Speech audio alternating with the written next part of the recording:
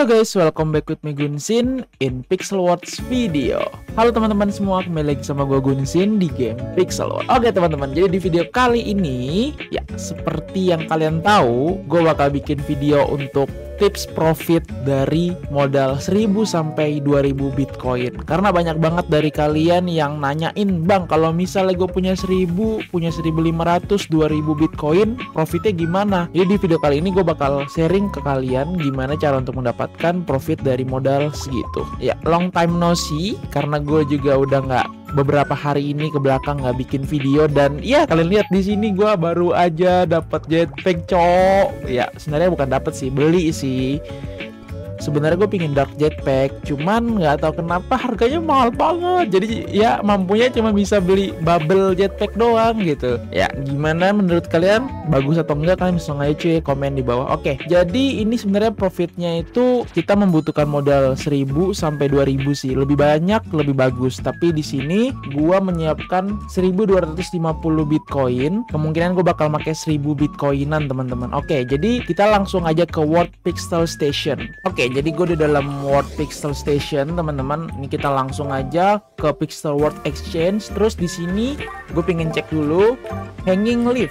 Harganya ya setahu gue untuk bloknya itu di 1 sampai 2 sih. Tapi banyak orang kayak jual di 2 Bitcoin, 2 2 each satunya. Yap. Jadi di sini karena gua nggak pingin menggunakan modal yang cukup besar, sebenarnya kayak gini juga modalnya bisa teman-teman dengan modal 1800 aja kan bisa juga profit. Cuman gue bakal menggunakan 1000 aja kita di sini ke my order, terus gua ke place order, gue nyari hanging leaf bloknya nah di sini gua mau beli gue pingin order 999 dengan harga 1001 nah kita membutuhkan 1041 bitcoin. Nah itu kita bayar itu 1001 terus ada pajaknya itu 40 teman-teman. Ini pajaknya ini 40 kalau misalnya lo orang pakai VIP itu kepotong 5% sama lu punya perksnya itu bakal kepotong 1% jadi gue cuman bayar 40 kalau misalnya nggak ada perks nggak ada VIP itu jadinya bayarnya 100 ya. Dia 10% kalau nggak ada apa-apa. Makanya level itu penting banget kan gue udah pernah bilang. Kalau kalian belum nonton videonya gue udah pernah ngasih tahu gimana cara untuk mendapatkan level dengan cepat menaikkan level dengan cepat. Kalian bisa nonton aja videonya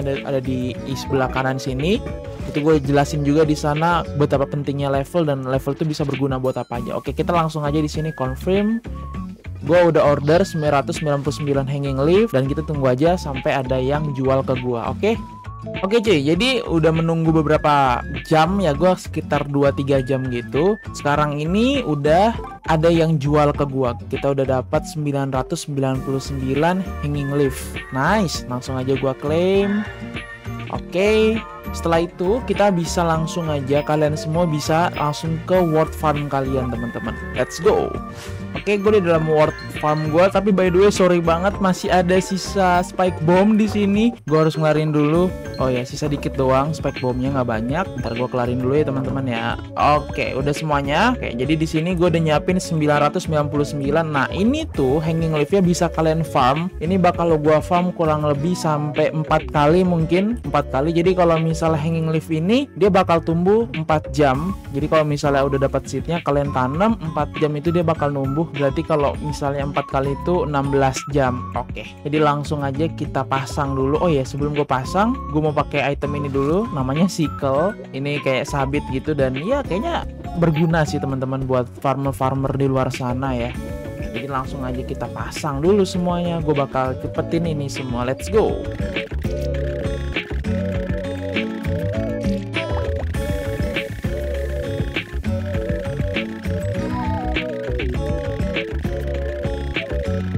Oke cuy, jadi semuanya udah gue pasang. Ini ada 999 hanging leaf.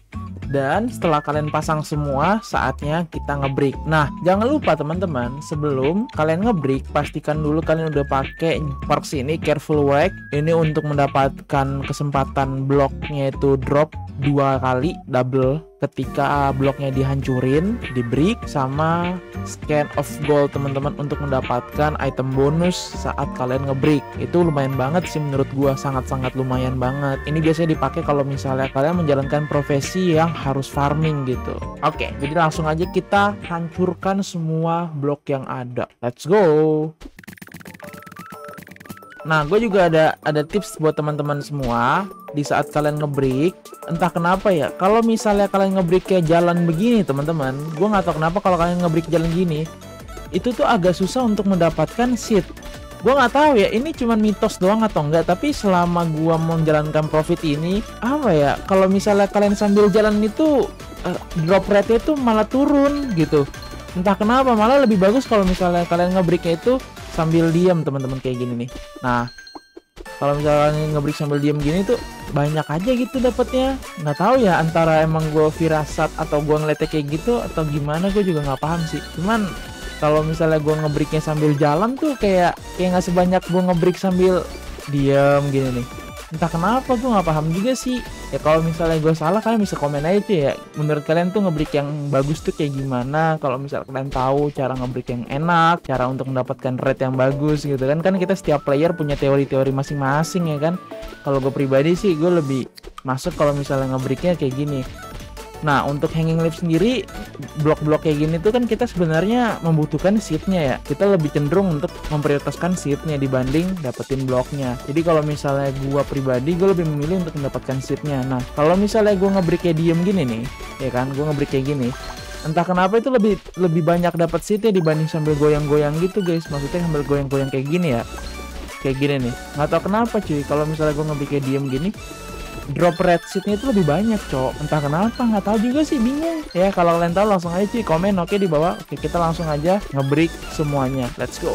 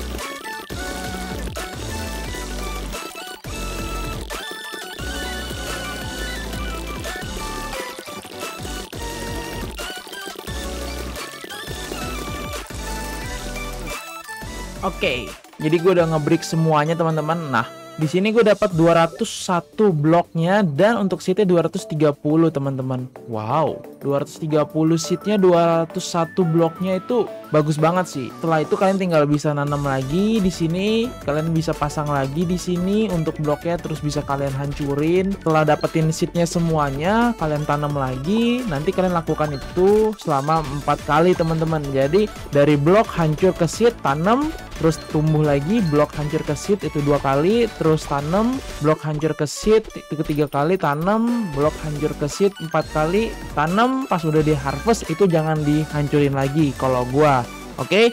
jadi ini gue bakal nanam dulu semua seednya dan gue bakal hancurin dulu bloknya semuanya baru gue tanam sampai empat kali baru deh oke okay?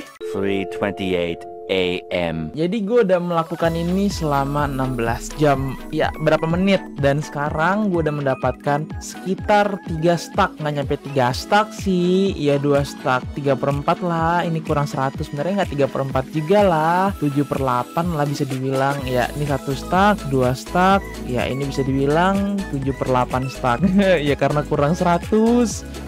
Oke, jadi gue bakal ambil ini semuanya setelah itu kita ke Pixel World Exchange kita jual teman-teman gue langsung aja ke Pixel World Exchange dulu Oke teman-teman, gue di World Pixel Station. Langsung aja kita ke PWE. Terus di sini kita cek dulu ke Hanging Leaf. Hanging Leaf bloknya untuk harganya di berapa sih orang-orang pada jual rata-rata? Masih di 1000 ya teman-teman, 1800, 1800 berarti mereka jualnya itu ya dua kali lipat lah ya, dua kali lipat.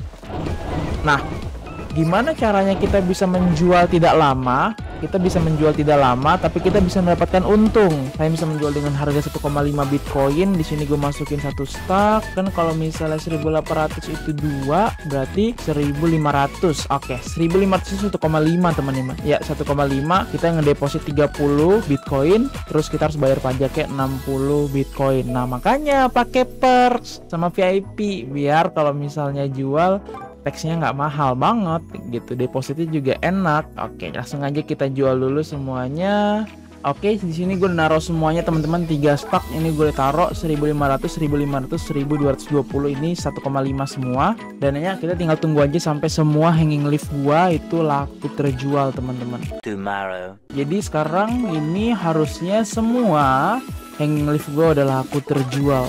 Nice, I like this bro claim kita klaim 1196 1470 1470 oke jadi gue udah mendapatkan 4260 bitcoin. Dengan modal gue tadi itu 1000 ya 1000 berapa ya tadi ya? Aduh lupa lagi pak. 1050 1100 entahlah. Nah kan terus ada sisa tuh 200 bitcoinan. Itu terus bitcoin itu bisa dipakai untuk ngedeposit barang di PWE teman-teman. Jadi benar-benar semuanya itu kepake. Nah, dan mungkin banyak dari kalian nanya kenapa gua ngebreaknya hanging leaf gitu kan? Karena hanging leaf bisa dibilang banyak banget dipakai gitu, banyak banget dibutuhkan. Selain untuk gua farm, gue pakai untuk yang lain, jadi bisa gue profitin untuk yang lain. Dan hanging leaf ini kalau di break itu cuma dua hit doang teman-teman. Jadi kalau cet cet gitu, udah langsung kelar, cok. Keren banget kan? Pukul sekali, pukul dua kali hancur, sekali dua kali hancur. Makanya enak banget untuk di farm dan itu farmable. Berarti modal gua 1000 250 gue mendapatkan 4260 berarti clear profit gue bisa dibilang 3000 teman-teman 3000 bitcoin cuy kapan lagi lu dapat 3000 bitcoin? Cuman modal 1000 bitcoin doang ya kan? Makanya kalian harus semangat terus teman-teman oke? Jadi mungkin segitu aja. Kalau kalian suka sama video ini boleh banget di like dan kalau misalnya kalian masih banyak lagi pertanyaan-pertanyaan atau minta bikinin profit yang lain boleh banget komen di kolom komentar di bawah. Thank you banget teman-teman yang udah nonton video ini dari awal sampai habis sampai sekarang gue ngomong. Sampai jumpa di video selanjutnya. Gue Gun Bye bye. See you next time. See ya.